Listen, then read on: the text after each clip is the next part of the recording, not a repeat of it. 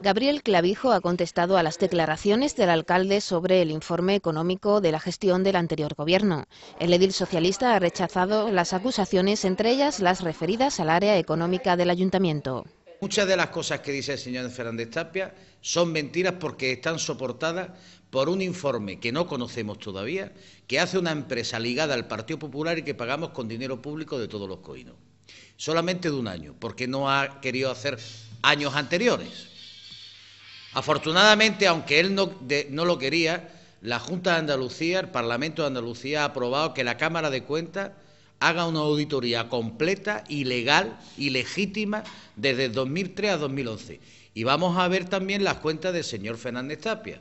Clavijo ha explicado que las rosas se enviaban como felicitación y acusa a Fernández de haber estado en el catering de la residencia y de haber hecho gastos en Fitur, en reportajes y en una guía turística cuando era edil de turismo.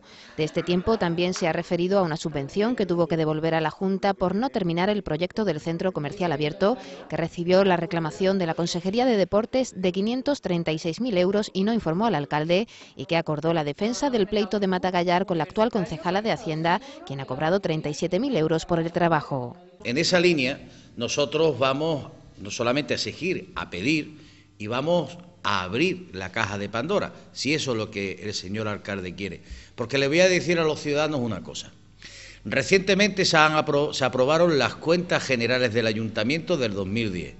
Ni una nota negativa por parte de los técnicos municipales a lo que, a lo que está manifestando la empresa. ¿Por qué los técnicos no hacen notas negativas cuando se aprueba la cuenta general que aprobamos el Partido Socialista y el Partido Popular en el Pleno hace escasamente unos meses y ahora después viene a salir con estas necedades y estas mentiras? El concejal del PSOE declara que en el último año y medio de su gestión se invirtieron más de 14 millones controlados por el Departamento de Contratación. Respecto a los 45.000 euros en comidas, explica que incluía el catering de colectivos que lo solicitaban y que Fernández también asistía. Es más, en su época de concejal de turismo, batimos el récord de gasto en una fiesta de la naranja donde superamos los más de 110.000 euros cuando en los cuatro años siguientes rara vez llegábamos a gastarnos 20 o 30 mil euros en dos días de la fiesta de la naranja. Clavijo ha recordado las obras que se realizaron durante su gestión y que destinó la subvención de caminos para pagar las nóminas del ayuntamiento y que Fernández debería haber conseguido el resto de la cuantía.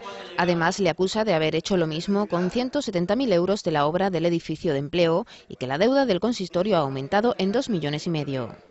Y yo no se lo he criticado, porque el ayuntamiento es una caja única. Y lo que hay que comprometerse con los pagos, como todos los alcaldes, desde la época que yo conozco y tengo uso de razón, han hecho. Usted no es un espécimen especial. Porque me gustaría saber, del año 2012, de todas las facturas que usted ha comprometido, a fecha de hoy, cuántas has pagado. Me parece que muy poquitas.